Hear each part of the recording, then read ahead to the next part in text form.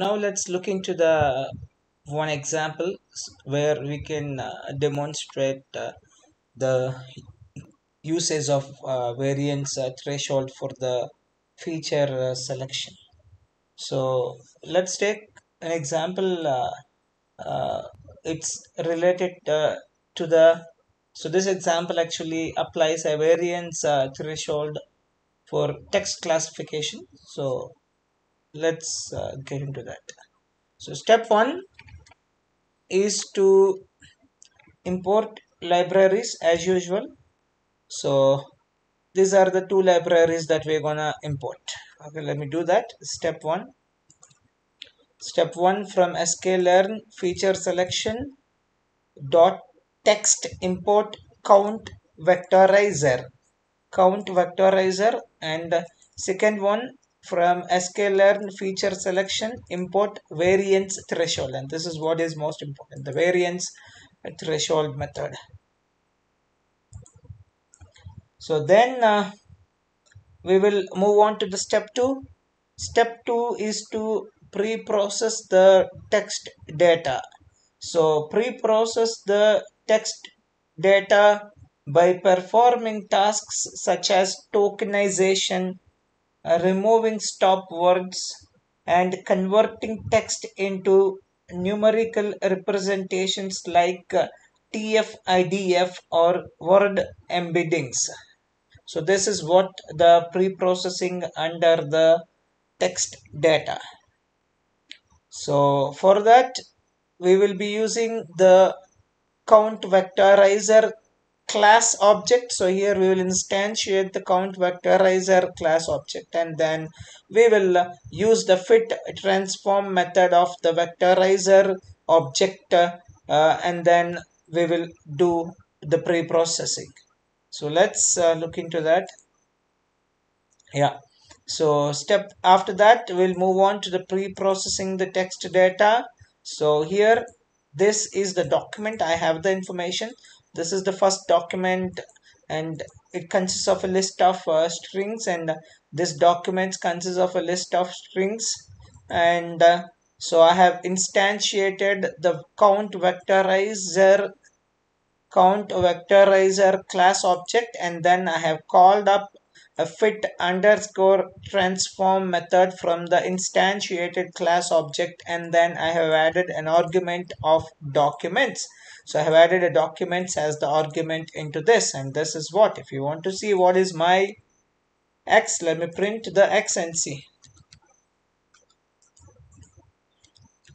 Print x and this is what we got. And uh, what we have given is this. A documents a pure text data. And what we got is this. 080306 and it's been counted and vectorized. And this is what we got. So it has been converted into an array 0 comma 8 and so each one has been uh, transformed into the uh, vectorizer. You see that? Count vectorizer. Okay then let's move on to the step 3 so now it's time to calculate the variance of each word.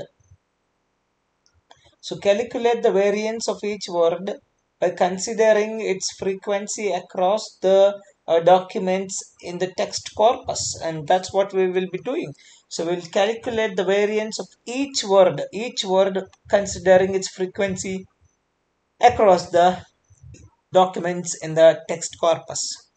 So let's calculate the variance now. So next step is to calculate the variance of each word. So that's the reason variances. I've taken x. This is what is our x. And uh, i just want to make it into two array. And then obviously if it is array so you can use var method. And we want to calculate uh, uh, in x-axis which is 0 which along this I want to calculate along this. So that calculation has been done. Let's see variances here. So what variances we got? And this is what the variance we got uh, so we have one two three four okay? And I got the variances around this uh, 0 0.1875.5.25 so overall this is what the variances uh, we got with respect to the documents uh, data that we have given. Okay? So now it's time to set up the threshold. Uh, next step is to uh, step 4 uh, is to set the variance uh, threshold. So choose a variance threshold value based on domain knowledge or experimentation. So this threshold determines which words are considered as low variance and will be removed. So so here in this case uh, uh, keeping the domain knowledge as a priority and after doing a, uh, some some amount of experimentation. I just want to go with the 0.01 as my threshold. This would be my variance uh, threshold. So let me put it that also in code. So set the variance threshold which is equals to 0.01 okay.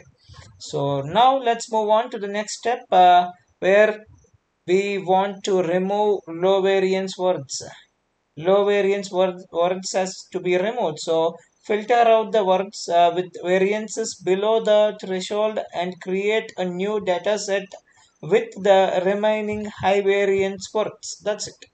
So selector we call this a selector and variance threshold is equal to threshold is equal to threshold because threshold is a keyword argument and then the value threshold has been given as a 0.01 and we are attaching that to the that keyword argument has will be uh, will be given to the respective uh, class object. So if you see uh, step 4 is to remove the low variance words for that we have to fit into variance uh, threshold algorithm. So first what i'm going to do i'm going to instantiate variance threshold class object and i will refer that class object with the name selector. This is a reference name. And uh, uh while instantiating the class object i'm going to give the argument uh, threshold equal to threshold. So here threshold is 0.01 okay? Then I'll call x high variance is equal to selector is our variance threshold object and from there I will call up the fit transform method. Okay? So then after fitting this uh, selector data after fitting this x completely this x vectorizer text data has been vectorizer and this data into fit transform method of the selector object. So what we what we will get is x underscore high variance. High variance uh, low variance one will be removed and you will get the only high variance uh, ones. So next uh, get the selected features or words. That's the next step. So selected features is equal to we'll use a vectorizer and we'll use a get feature names out method and then selector dot get support and that's what uh, we'll be doing. So next step is to get the selected features. Or words here is nothing but words. So selected features is equal to vectorizer dot get feature underscore name out and then give the respective information. So then the final step is to print the selected features and that's what we'll be looking into. So directly you have to apply a for loop uh, to print all the selected features uh, respectively. So uh, mm, let's print the selected features for feature and selected features and print the feature. And let me execute this. And so out of this the selected features or we can call it as high variance words are end is one. You see that high variance word we have end then after that we have a document you have once twice and uh, th thrice but uh, the document uh, as comes under high variant high variance and then we have first and then one second a third. So one second third these are all high variance words. And using variance threshold and this is how we can calculate uh, uh, the we can select the features using this high variance technique so variance threshold is a feature selection method that removes features with low variance uh, as they are considered to have little or no predictive power. It's based on the notion that features with low variance provide little information and are less likely to be useful for modeling. So, in uh, and note that the code provided the, the code that we have used here and the, the code that I have uh, coded is a simplified example in a real world scenarios additional pre-processing steps such as removing stop words stemming or using more advanced feature extraction techniques may be necessary so this is what is variance uh, threshold method which comes under filter type uh, feature selection